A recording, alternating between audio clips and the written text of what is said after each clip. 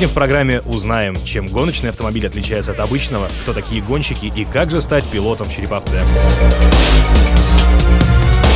Изобрели автомобиль в Германии. Первые гонки прошли во Франции. Ну а ездить на машине по льду придумали, конечно, в России. Так что это исконно русский вид состязаний. Этой зимой отборочные этапы Кубка России по трековым и ледовым гонкам состоялись в Череповце.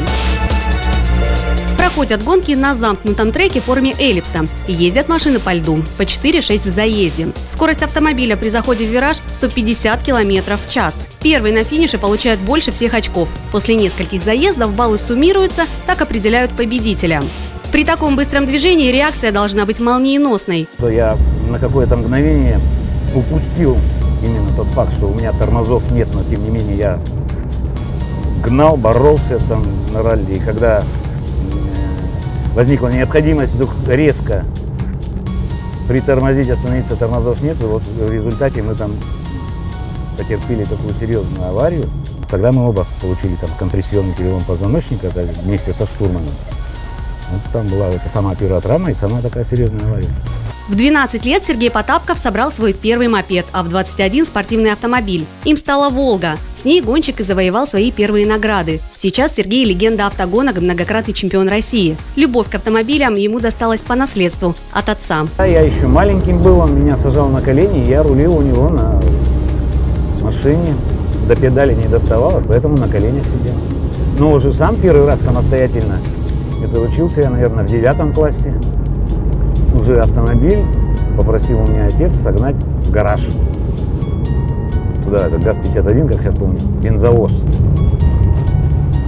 И вот я ему отгонял этот автомобиль, без него сам в гараж, сам ставил в гараж. В этом виде спорта нет тренировок в привычном понимании. Вместо стадиона гараж, вместо разминки ремонт и инструменты. Пилот готовит свой автомобиль сам. Все до последнего болтика. Все ради результата. Скажи вообще, чем отличается вот этот вот автомобиль для гонок от обычного?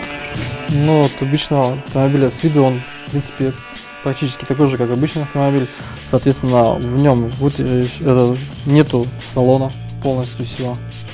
Э, все вытащено, весь пластик, все ковры, весь утеплитель, то, что может гореть. Потому что это все по технике безопасности должно быть удалено вставлен, соответственно, каркас безопасности. Переделка вазовской классики – дело хлопотное и затратное. Четыре месяца и более 200 тысяч рублей потратил череповецкий гонщик Егор Кремнев на постройку своего авто. Только пофорсить на такой тачке по городу не получится, запрещено. Ездить можно лишь на закрытых трассах. И ремни безопасности, конечно, что не как обычно в одном месте, это четырехточные ремни, что как у пилота в самолете, чтобы не выпасть. Если даже когда машина переворачивается, то ты висишь просто на ремнях сиденья сидишь. Есть прикрыватель массы, который в данный момент, э, когда машина переворачивается, либо еще что-то случается, э, если водитель сам не может ее заглушить, то подбегает судья, который стоит на, на брусвере, на сугробе, там есть обозначение на капоте, он дергает за тросик, машина глохнет, если я сам не могу заглушить автомобиль. Вычислить пилота автогонок очень просто. Почти каждый день его можно увидеть в магазине автозапчастей. Туда он ходит даже чаще, чем в продуктовый. А к своему автомобилю относится как к живому. Э, только так, если за день за гон, до гонки вечером, когда услышал гаража, приехал, проверил, все, все ли в порядке, все ли хорошо. Ну все, пошел по капоту погладил, сказал, все, завтра едем в бой.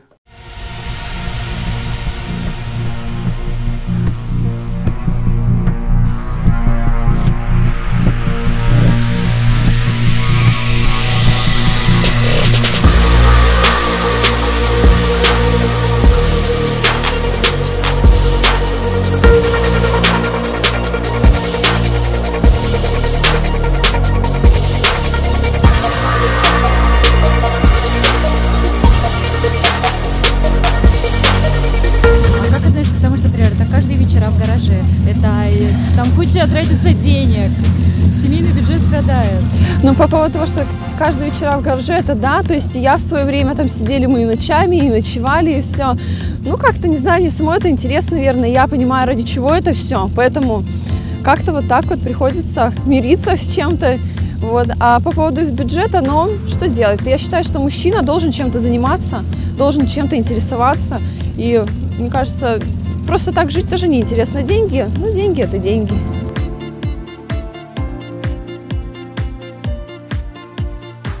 Давай, целуй. Давай, счастливо. Если вы хотите стать пилотом, то начать лучше с картинга. Это как школа для автогонщика. Время на подготовку есть. Новые соревнования по трековым гонкам пройдут следующей зимой.